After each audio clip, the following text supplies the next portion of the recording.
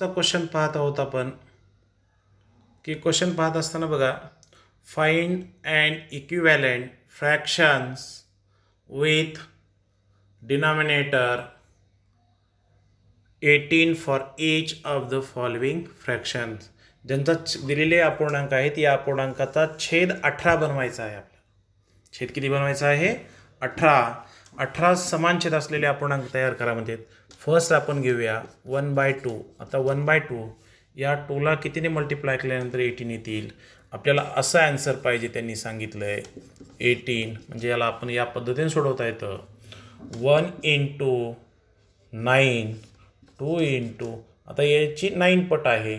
Nine Times to आहेत आहेत. म्हणून काय करता येईल? Nine is equal to nine one जा नाईन नाईन टू जा एटीन नाईन बाय एटीन हा इक्वॅलेंट फ्रॅक्शन आपल्याला मिळालेला आहे. त्यानंतर पहा दुसरं आहे two by three example number second is equal to box same अशाच पद्धतीनं एटीन पाहिजे डिनॉमिनेटर थ्रीचं किती आहे? थ्री सिक्स टाईम्स किती आहे?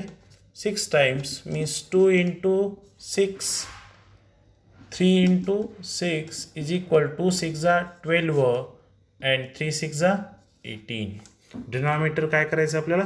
एटीन आला पाहिजे. बाकीचं काही नाही आपल्याला. डिनॉमिनेटर कसं आला पाहिजे? एटीन आला पाहिजे. त्यासाठी आपल्याला एक्झाम्पल नंबर थर्ड ही पाहूया आपण. दिलेलं आहे four by six is equal to denominator eighteen पाहिजे. आता हे कुठून दिलं सर याच्या आपण पुढं एटीन पाहिजे म्हणून गेलो. याचं ट्वेल्व घेता येतं हे इथं लिहित नाही कारण की तुमच्या लक्षात यायचं नाही. काय दिलेलं आहे? त्यानंतर फोर बाय सिक्स दिलेलं आहे. आता याची किती पट आहे?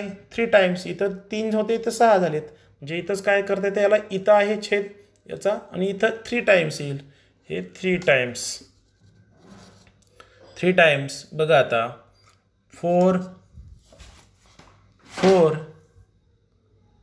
into three and six into three four three जा ट्वेल्व सिक्स थ्री जा एटीन म्हणजे या पद्धतीने आपल्याला सोडवायचे आहेत.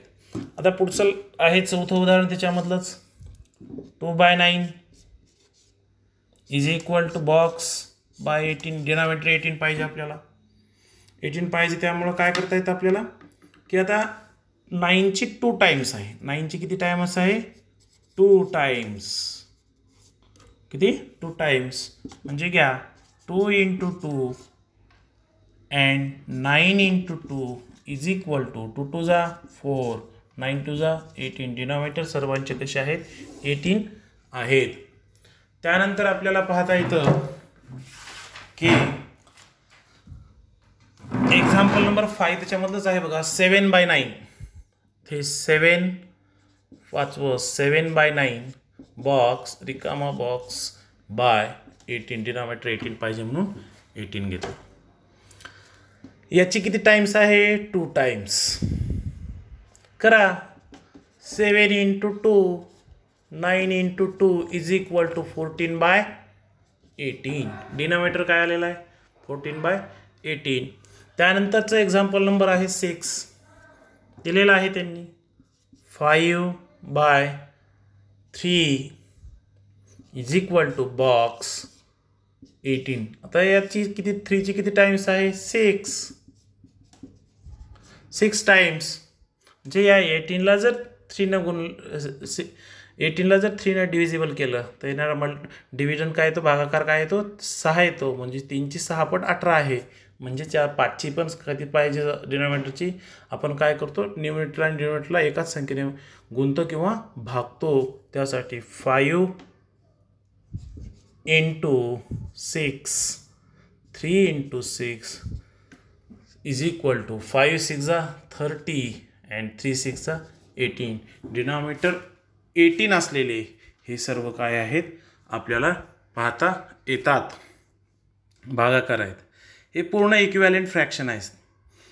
हे nine by eighteen eighteen by twelve by eighteen twelve by eighteen four by eighteen four by eighteen thirty by eighteen हे कसे आहेत?